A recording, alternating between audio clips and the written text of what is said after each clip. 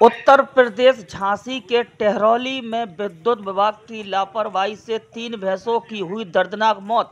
टहरौली तहसील के अंतर्गत आने वाले ग्राम बघेरा में सुबह सात बजे करीब ग्यारह हज़ार हाई वोल्टेज की लाइन में अचानक फॉल्ट आने के कारण ग्यारह हज़ार हाई वोल्टेज के तार नीचे बंदी भैंसों के ऊपर गिर गए जिससे मौके पर तीनों भैंसों की दर्दनाक मौत हो गई।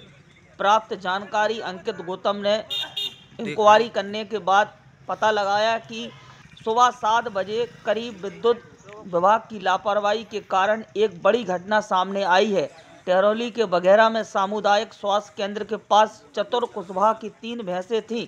चतुर ने बताया, ग्यारह हज़ार वोल्टेज की लाइन में समीप से निकलने के कारण और उन पर सेफ्टी तार न होने के कारण सुबह अचानक फॉल्ट बनने के कारण ग्यारह हज़ार की लाइन मेरी भैंसों के ऊपर गिर गई जिससे मौके पर तीनों भैंसों की मौत हो गई। इससे पहले भी कई जगह विद्युत विभाग ने कई जानवरों की व्यक्तियों की अपनी चपेट में लेने के कारण मौत के आगोश के लिए बावजूद विद्युत विभाग क्या नाम है आपका? ध्यान कहाँ के निवासी हो?